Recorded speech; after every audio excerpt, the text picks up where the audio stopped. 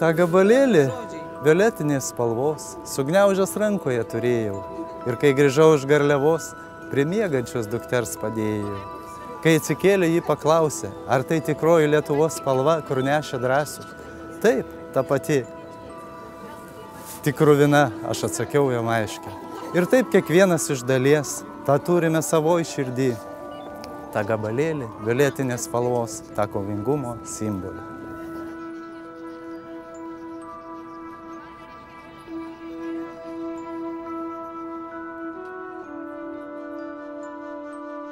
Ir kaip kiekvieną mėnesio 17 dieną atvykstu su savo skyriaus nariais prie vaikų teisų tarnybos, o ką tik mes buvom.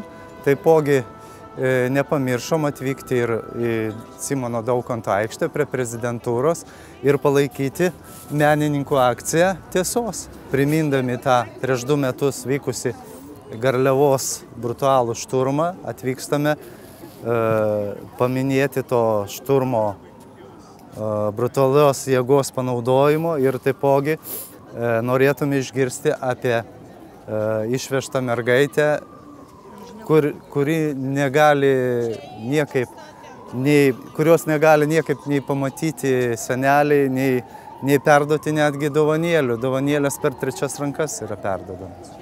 Mes jau porą metų šitą, jeigu taip galima sakyti, veiklą užsiminėjom.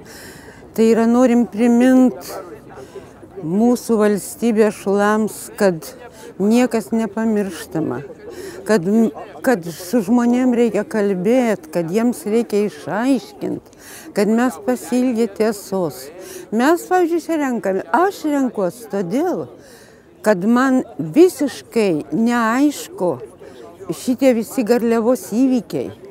Todėl, kad aš nuo garliavos įvykių praregėjau aš pradėjau domėtis politika, nes aš pamačiau, kad ten yra kažkas labai daug nešvaraus. Aš pradėjau sekti, vaikščioti ir po teismus ir žiūrėti. Ir pastebėjau, kad pas mus tos tiesos tiek trūksta Lietuvoje, yra tokia neteisybė. Už tai mes rašom ant šitos aikštės susirinkę tiesos. Labai gražų žodį tiesos. Mes nieko neprašom, tik tai tiesos. Sužinot apie šitą mergaitę, kur jinai. Mes kalbam apie vaikus, kad juos reikia, ta prasme, prižiūrėti. Visos e, tam priklausančios įstaigos labai gražiai pašneka. Ir prezidentė labai gražiai ir apkabint moka tos vaikelius. O vis dėlto, kur šitas vaikas, kuris sukėlė tiesiog, nu, kaip sakyti, sudrumstė Lietuvos nuotaikas, Tada noriu paklausti, aš tos prezidentės, pavyzdžiui, padėkit mums sužinot, ar tikrai mes klystam, kur ta mergaitė, ar jinai sveika, ar jinai gyva, ar jinai žolė nepadaryta. Todėl, kad buvo jau spaudoj girdėjom, kad jei atmintis atimta, ką tai reiškia, mes suprantam senelių neprileidžia jau porą metų prie jos visiškai, net nuotraukos neatsinčia. Tai kur tos vaikų teisės? Suprantate, čia tiek neteisybės, pagaliau šitas, nu kaip, visi parlamento, na, aš pasibaisėjau Seimu.